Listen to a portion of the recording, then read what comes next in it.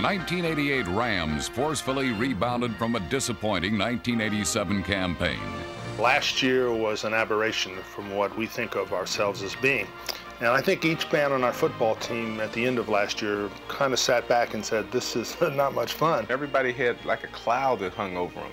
Uh, during the off season, everybody worked hard. I spent a lot of time in Los Angeles working also, and uh, you could just see that cloud move away. Spirits picked up. The biggest change is the attitude, and uh, and it's a lot more fun to be around a lot of people with a great attitude.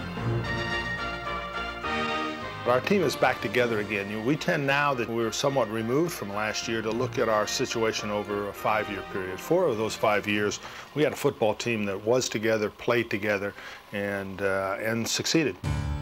This renewed sense of togetherness was at its strongest on the season's final week, when the Rams needed to beat San Francisco in order to clinch a wild card berth. In a must win situation, the Rams dominated and devastated the eventual world champions. A 38 16 triumph symbolized the spirit of the 1988 Rams, a team that rewrote their record book while carving another exciting chapter in franchise history. With this decisive victory, the Rams ensured themselves of their fifth playoff berth in the last six years, and they climaxed a season that was like a best selling novel entertaining, dramatic, and filled with an unforgettable cast of characters. A season that was truly one for the books. Good afternoon, everyone. We're at the Metrodome in Minnesota. It is snowing outside. It is very comfortable inside, however, and the Rams and the Vikings hook up in this NFC wildcard game this afternoon. Three weeks ago, not many people gave the Rams much of a chance of being in any sort of a playoff picture. They won three in a row. Their most recent, a win over the San Francisco 49ers, gave them a record of 10 and 6, and so they come in here against the Vikings with a chance to proceed. In the NFC wildcard contest, the Rams were unable to overcome a hostile environment and their own mistakes. Despite a pair of Jim Everett scoring passes, the Rams eventually fell 28 to 17.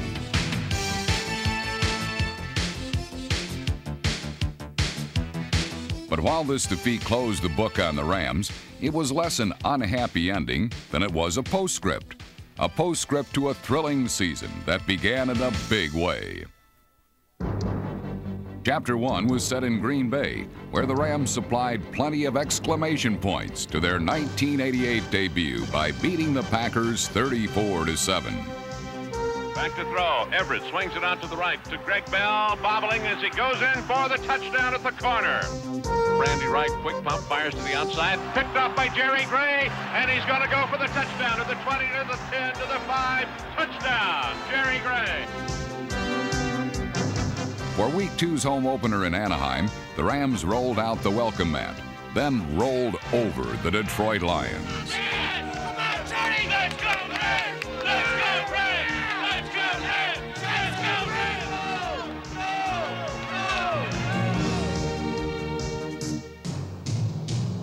Five sacks and a Jim Everett touchdown pass to Damone Johnson highlighted a 17 10 victory. Three found the Rams continuing in the fast lane. And at the Los Angeles Coliseum, they were securely in the driver's seat as they accelerated past the Raiders 22 to 17.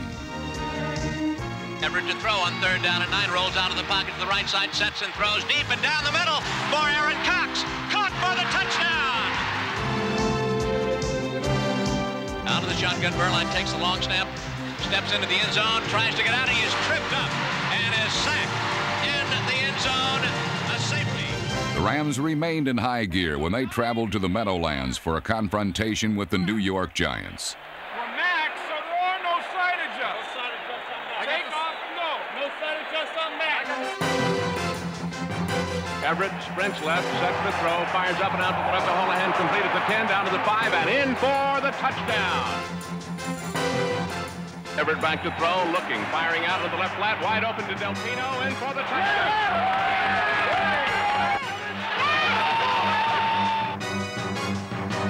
The Giants were thwarted by hard hitting and heads up defensive play.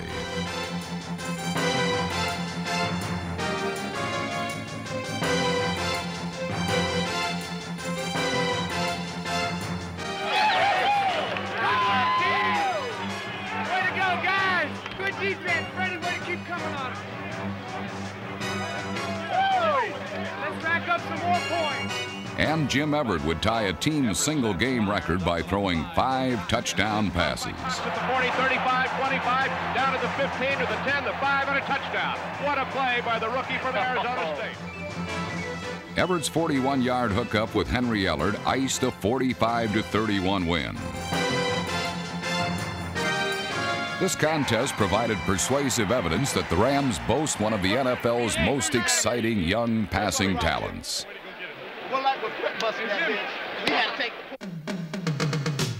1988 saw Jim Everett emerge as the master of the Rams' multi-dimensional offensive system.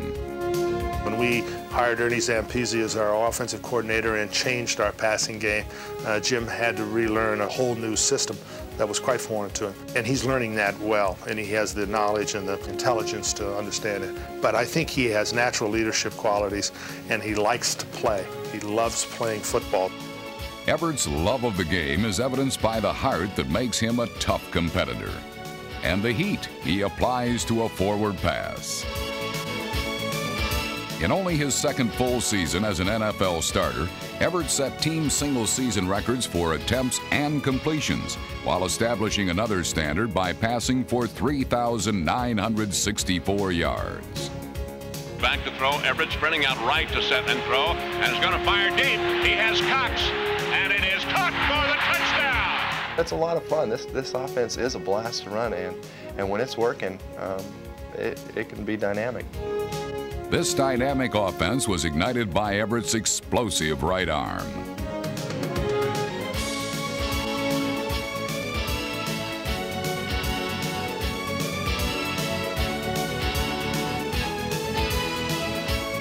Everett's 31 touchdown passes were a league high and accounted for yet another team standard.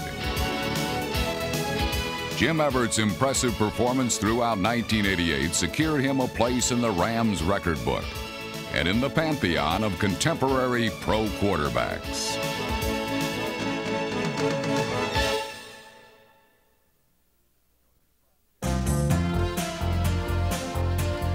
Georgia Frontiere's 10 years as owner and president of the Rams comprise a decade of distinction. She has set the tone for one of pro football's classiest and most successful organizations. She epitomizes hands on ownership in the truest sense of the term. And her involvement in every phase of the club's operation has produced a team that is consistently competitive. Her coach, John Robinson, is both consistent and competitive.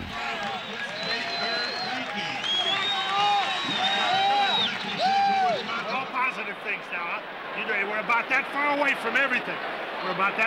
A shutout over the Falcons in Week 6 showcased Robinson's coaching philosophy at its very best. With a season high 155 rushing yards, Greg Bell embodied the emphasis on ball control that is Robinson's trademark. And Jim Everett's three touchdown passes, one of them a 54 yarder to Henry Ellard, demonstrated the Rams' success in establishing a more wide open passing game. A 33 0 victory was further propelled by a pass rush that produced nine sacks.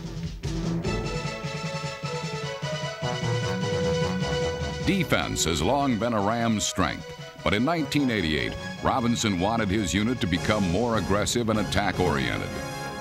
We are playing much more uh, aggressive style of defense. We're coming after people, maybe gambling a little more. We have now tried to use our, our outside linebackers as the focal point of what we're doing, particularly as it relates to pass rush. By unleashing athletes such as Mike Wilcher, the Rams topped the NFL with 56 sacks.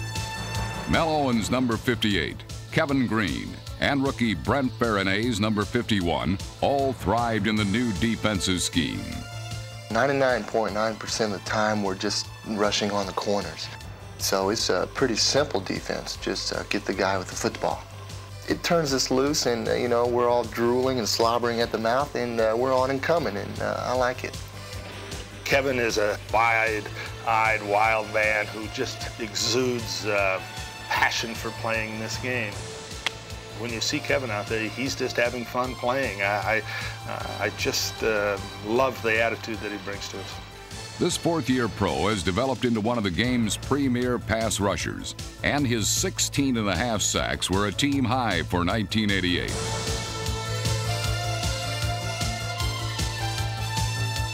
Kevin is, is one of those uh, old Rambo kinds of football players, you know, who does it with a great deal of enthusiasm and, and has, uh, has exceptional instinctive ability. Inside linebackers Larry Kelm, number 52, Carl Ekern, number 55, and rookie Fred Strickland, number 53, were also models of instinct and enthusiasm. Ekern, the team leader in total tackles, Mark Jerue and Jim Collins, number 50, were relentless run stuffers, as was defensive end Doug Reed. Other line standouts were Alvin Wright, number 99, Sean Miller, Greg Meisner, number 69, and Gary Jeter, number 77. The Rams registered a respectable 37 takeaways, thanks in large measure to a solid secondary that included Anthony Newman, number 26, Mickey Sutton, Vince Newsome, Clifford Hicks, Leroy Irvin, number 47, Johnny Johnson, James Washington, and Michael Stewart, number 23.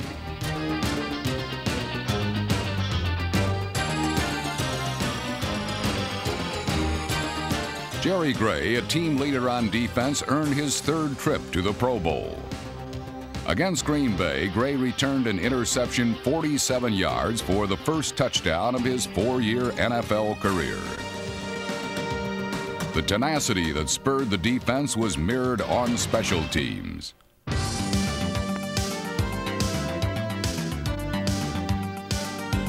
The Rams displayed plenty of cloud on coverage thanks to Anthony Newman, number 26, Robert Delpino, James Washington, Larry Kelm, and Michael Stewart, number 23.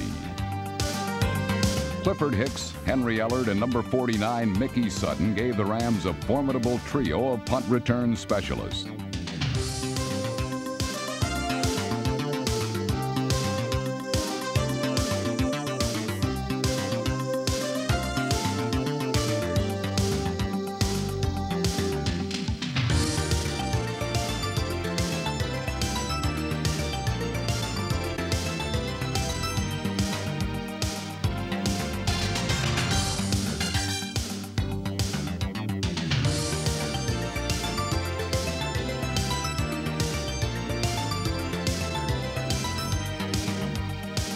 Rejoining the team for the final seven games of the year, Ron Brown produced two kickoff returns of 70 plus yards.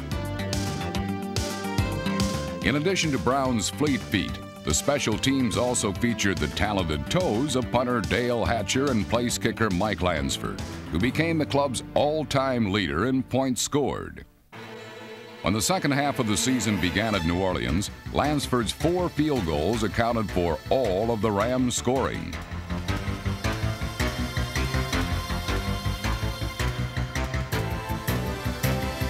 The defense held New Orleans to a mere 33 rushing yards, and the secondary continually frustrated the Saints' aerial attack.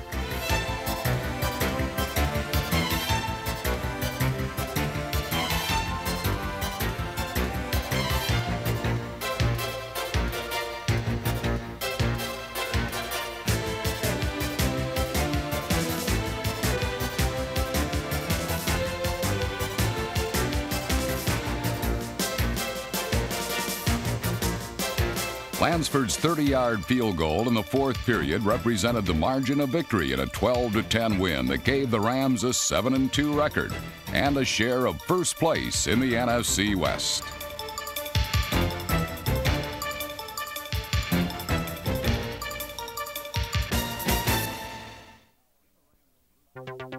In the Rams' blueprint for a towering offense, the foundation was an offensive line that was one of the league's best at both pass protection and run blocking. Tackle Jackie Slater earned Pro Bowl honors, as did guard Tom Newberry and center Doug Smith.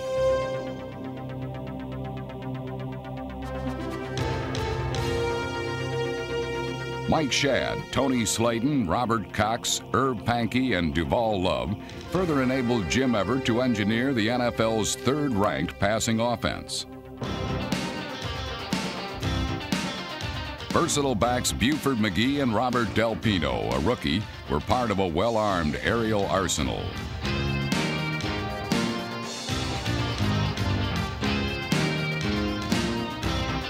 Delpino led all of the club's running backs in receptions, and a talented tight end tandem consisting of Damone Johnson and Pete Holohan also helped the Rams score more points than any team in the NFC. The short to medium range passing game was a model of efficiency, but Ernie Zampese had bigger things in mind to be more productive throwing the football. We need to make some big plays. We need to get the ball up the field and, and get those 20 and 30 and 50 and 60 yard plays. We need to do that. Big plays were made by number 83, Willie Flipper Anderson, and Aaron Cox, a pair of rookie wideouts with the ability to cover plenty of ground. Cox averaged over 21 yards per catch while scoring five touchdowns. But the majority of Everett's long distance calls were placed to Henry Ellard, whose outstanding ability to run after a catch netted him a league best 1,414 receiving yards.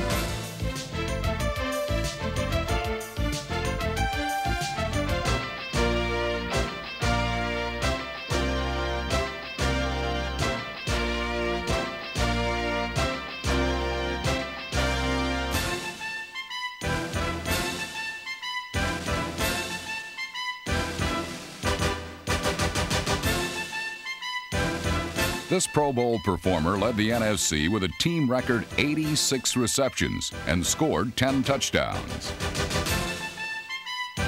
Also essential to any big play offense is a breakaway ball carrier.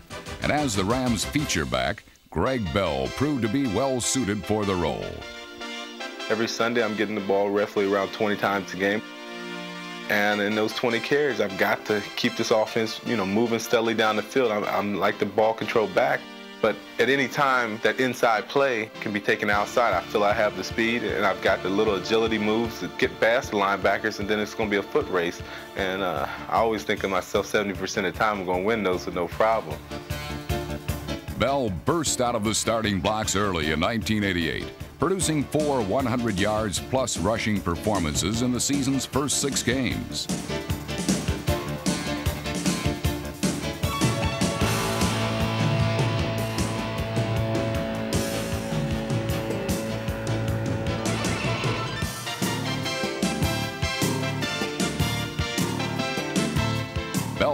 Gain 1,212 yards, and he was pro football's most prolific touchdown maker with 18 scores.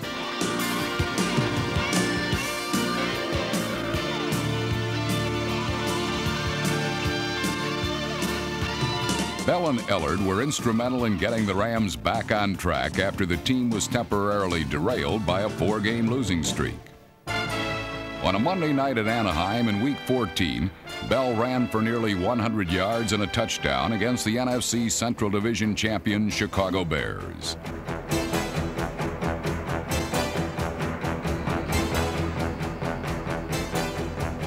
Ellard contributed six catches for 132 receiving yards in a tide-turning 23-3 triumph. The Rams sustained their well choreographed style of play by next waltzing to a 22 7 win over Atlanta. Pete Holohan grabbed eight passes for 126 yards.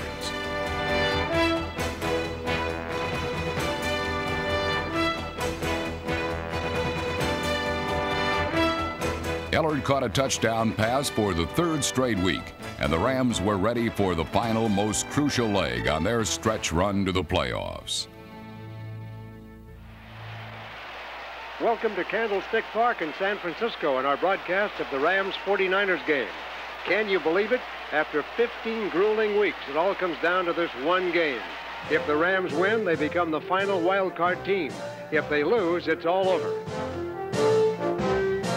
San Francisco is destined for a Super Bowl victory, But on this evening, Jim Everett and Damone Johnson reduced the 49ers to helpless victims in the Rams' quest to return to postseason play. Johnson would catch three touchdown passes, and Everett, who was never sacked, tossed another to Henry Ellard. Scrambles to the right, still fires for the end zone, and it is caught for the touchdown by Henry Ellard. The defense savaged San Francisco, holding the conference's best running attack to 70 rushing yards. The Rams also recorded nine sacks, four and a half of them courtesy of Kevin Greene.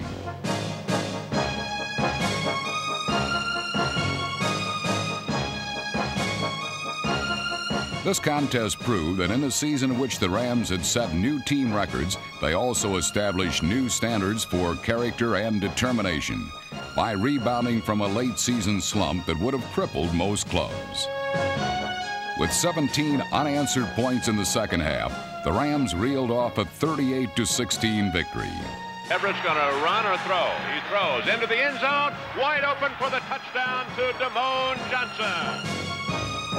The Rams had finished with a flourish to post a 10 6 record that obliterated all traces of their 1987 campaign. Throughout 1988, they had reestablished themselves as one of pro football's best teams. With a nucleus of exciting young players, an imaginative offense, and a devastating defense, they are certain to remain on the upswing. 1988 will stand as a year in which the Rams broke team records and toppled opponents. As a result of their numerous achievements, the Los Angeles Rams made 1988 one for the books.